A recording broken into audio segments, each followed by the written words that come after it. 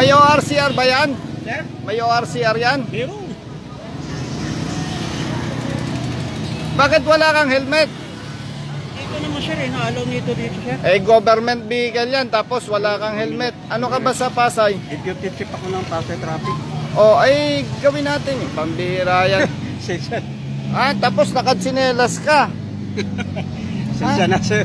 Hindi, wag pasensya kasi sigurado ko sigaan traffic sa Ay, Pasay. hindi. Eh, nako. Okay sir. Oh. Ay, government vehicle. Red Ayun, plate. pumila ko ulam dyan ako na. Government vehicle yan, red plate. Tapos wala kang... Hindi ka nakasapatos. Baka lang naman sir. Ha? Wala kang helmet. Bata rin ako ni Nino? Kernel ano? Nino? Kernel ano? Yung dating hitin. Dating Sino? Traffic.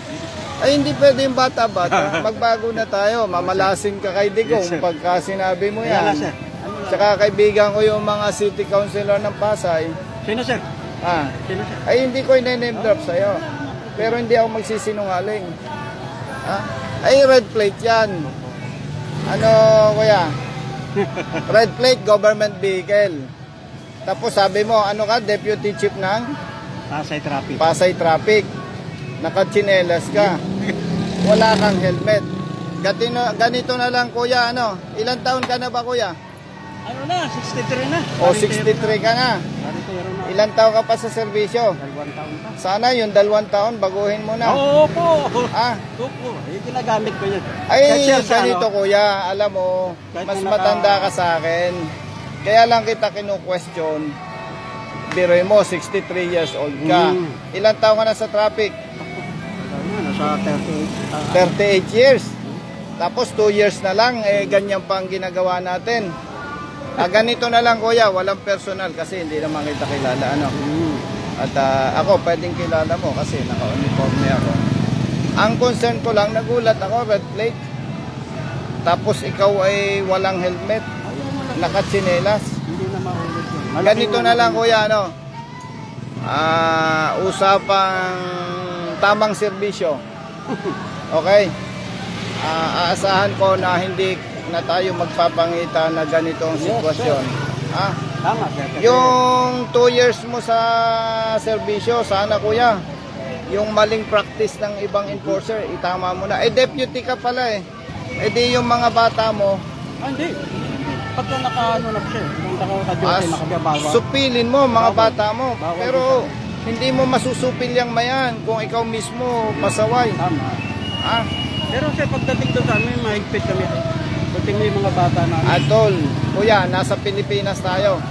Keso nasa Pasay ka o nasa Bacoor ka, ay gawin natin ang tama. Alam mo pa ang mabigat dyan, kuya? Red plate, Nakakaya pa tayo. nakakaya. Kailangan gawin natin ang tama para irespeto tayo ng Templo tayo. eh. yun. Ilan kuya ang anak mo? Ala, apat lang. Apat. Eh, nakakaya sa ating anak. Tsaka kapitbahay. Ah, kuya, ganito, ano, ako naman hindi kita kilala para sabihin mo na inaaway kita. Ano, ang malasakit ko lang, eh, tayong mga nasa posisyon sa gobyerno, gawin natin ang tama para iangat natin yung ating imahe sa, Yung, yung dati na, yung mga dating panahon pa. yung, yun, Eh, sakto. pag-uwi na natin. Yung dating panahon, ibalik natin, yung bang nire-respeto. Sabi nga nila noong mga 1970s, pag nakakita daw ng pulis, Takot. hindi takot. Maginhawa ang pakiramdam na, ah, ligtas tayo. Pag nakakita ng enforcer, ayos. Eh ngayon, pag nakakita ng enforcer, eh takot. Hindi, takot na yun. Hindi takot. Eh kasi nga, Nasanay, nakasanayan. nasanay, paano matatakot sa enforcer na ibig mo sabihin yung violators kasi nga hindi tayo makitaan ng respeto. Eh ganito kuya ano, ako naman ay ah, hindi ko ugali ang makipag-away kasi wala namang matikas na lalaki kapag nakatalikod, di ba? Ano kuya, tama ba ako? Oo. Ang gusto ko lang kuya, tayong nasa posisyon, gawin natin ang tama. Alam mo, yung kapirasong gagawin nating tama, Lalo na pag nasa servisyo tayo. Oo, nakakatulong Bukas sa tayo. atin yun. At saka kuya, alam mo ba yung panghuhuli natin sa mga violator? Pero tayo hindi marunong sumunod. Eh, pang-abuso yun. Oo, eh, sana kuya, pag napadano ng Pasay, makita ko yung mga bata mo, snappy Yes, ha. Yes, sir. Alam mo, hindi kita iniinsulto. Yung, yung bata mo, hindi ako maniniwalang snappy ang mga yan. Kasi bakit? Ay, ikaw deputy chief eh. No? Ikita nyo ano man ako sir pag nasa para. Eh, papasya lang kita doon ha. Oh, yes sir. Pero sana kuya, lagi ako nadaan dito.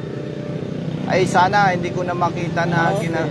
Eh, at tikas-tikas ng tindig mo eh. No? Tsaka kuya, government official tayo. Gawin po natin yung tama. Hempe tayo. Oh, may 2 years ka pa. May pagkakataon pang magbago ha. Paano po? Thank you sir. Ah, by the way, ako po si Colonel Busita, PNP. Salamat po. Pasensya na kuya. Ito, wala itong wala kuya itong personal o hindi kita kilala eh. Walang dahilan para Hindi sir, tama. Tama. tama ba 'yon? Tama yun sir. Oo. Tama talaga. Eh, Kailangan talaga tayo. eh. Two years ka pa sa serbisyo. Kaya sana po, may correct natin. Siguro pag ako'y nakapasyal kuya sa Pasay, dadaanan kita. No? Nasa opisina. Para magkape tayo. Oh, no problem sir. Okay ba yon? Okay sir. Ay, salamat po ha. Salamat po. Huwag kang ma-open kasi gusto ko lang tumulong sa ating pamahalaan. Ano. Kasi alam mo ba, minumura tayo ng mga motorista. Tayo daw ang gagaling humuli, hindi na marunong sumunod. Di ba? Dapat natin i-implement. Yon, ehemplo. Tayo pa tayo. Exact words. Exact words. So, ganun po ha. Eh sir. Baka pagka naman ako'y pumasyal sa opisina mo, palagyan mo ng lason yung kape ha. ha? Salamat kuya ha. Salamat po. Ingat po. Ingat po. Ingat po.